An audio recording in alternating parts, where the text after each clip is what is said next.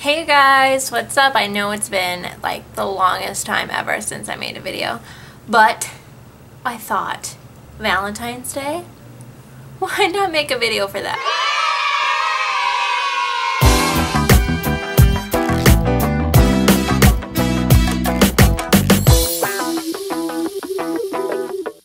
So I don't know what you how you guys feel about Valentine's Day, but I am so like not even into it. I don't like Valentine's Day. I think it's really, really, really cheesy and lame and overhyped. Like totally. But since I think it's so corny and really cheesy, we decided to roll with that theme. So we're going to have a cheesy Valentine's Day. We're going to order extra extra cheese pizza, which is my favorite. and then we're going to watch extra cheesy movies, like cheesy romantic movies. So even though it's not like anything super big, we're just going to stay in and eat like a whole pizza to ourselves with extra extra cheese. I cannot wait. It's still going to be fun because at least I get to be with him and you know, it's just sort of we're celebrating um, Valentine's Day in our own little stupid way. So.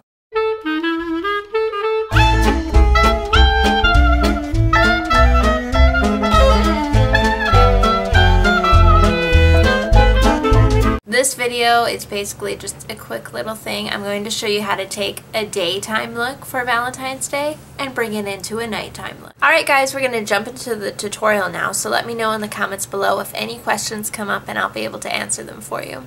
I hope you guys have a great rest of your day and especially a great Valentine's Day. Alright, get those eyelids primed, because you don't want no creasy shadow when you're on a date, do you? So I'm using this really soft pale baby pink color and I'm placing it right into my crease with a really nice fluffy brush. Then I'm taking this awesome shimmer color. It sort of has a little bit of gold, a little bit of pink. That's going to go basically over my entire lid. And I'm taking a matte gray shadow and that's going right on the outer third. And I just blend it softly right into the upper crease. For my brow highlight, I just use like a matte yellow shade. Now for eyeliner, I'm taking a matte gray pencil and just sort of placing a line right on my upper lash line. Doesn't have to be perfect because I go in with a pencil brush and I smudge that baby out. Make sure you're filling in your eyebrows and grooming them because that's just going to give your face a nice shape. Don't forget to curl those lashes. And apply a bunch of mascara because that makes your eyes pop, pop, pop. Alright, when applying the primer, it's crucial to get all around the entire face because it sort of acts like a double stick tape. The primer is going to stick to your face and the makeup's going to stick to your primer. So if you have a primer, it's going to last longer. And then go ahead and apply your foundation, whatever one that you're using. And I just use a concealer or cream concealer underneath my eyes to cover up any color. And just a powder foundation on top of that. For contour, I'm using again a powder. It's sort of like a bronzer, just no shimmer. And make sure that you blend this because you do not want harsh lines on your contour. That looks silly. Alright, for blush, I'm just using like a nice pink tone. And I'm actually using a powder highlight. It's a yellow color, so it helps brighten up all those areas where I apply it. So for a shimmer highlight, I actually am using a cream on top of my powders, which is a little risky, but I just use my finger and that's going to help blend it out. Then I take my blush brush and just make sure that any harsh lines are blended out nicely. For lips, I'm using a pale pink lip liner. I'm going to line and then fill in the entire lip.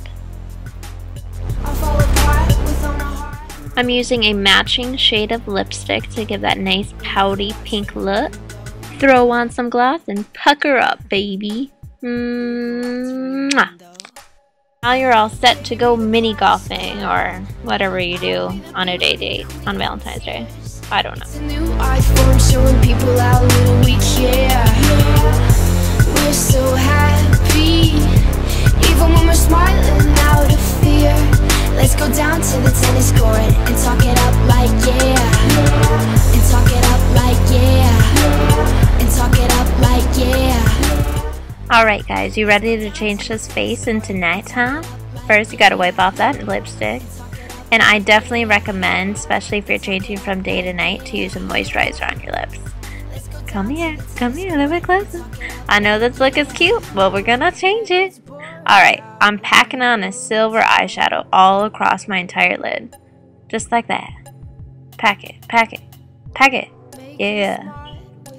Alright, now I'm taking a blue eyeshadow, I know it's a little vibrant, on a stiffer fluffy brush and placing it right where you see it, right in the crease, a little bit in the crease and then the inner crease, I guess that's what you would call it.